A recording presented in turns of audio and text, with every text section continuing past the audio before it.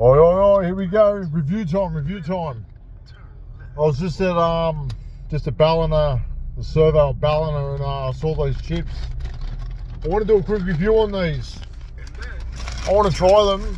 I've never seen them before. It's these Smith's chips, Subway pizza sub. Now I saw them straight away. I'm thinking I'm going to do a review on these. I'm with a couple of the boys. Yep. I'm with a couple of the boys. They're going to try them as well, but we're going to leave it up to you. Can you quickly open those for me, please, Luke? I can do that. Quick review on these chips. I want to know if they taste like pizza sub or not. They smell good. Try one. Tell me what you think. Now, does it taste like pizza sub? Mm, not really. Not really. Try one, man. So what you think, Zach. Pretty shitty. I want to know if they taste like pizza sub, like the packet says. They're shit. Shit, are they? Yep. No good.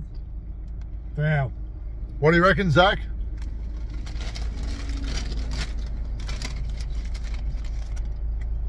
Yeah, there's a bit of flavour there. There's a bit of flavour.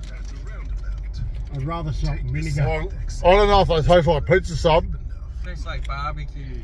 Yeah, Barbecue, barbecue, eh? Barbecue. There's the verdict. They taste like barbecue chips. Fucking liars. It says pizza sub on. It says pizza sub, Subway. They don't taste like Subway, but I'll leave it up to you. You guys tell me what you think. Peace out.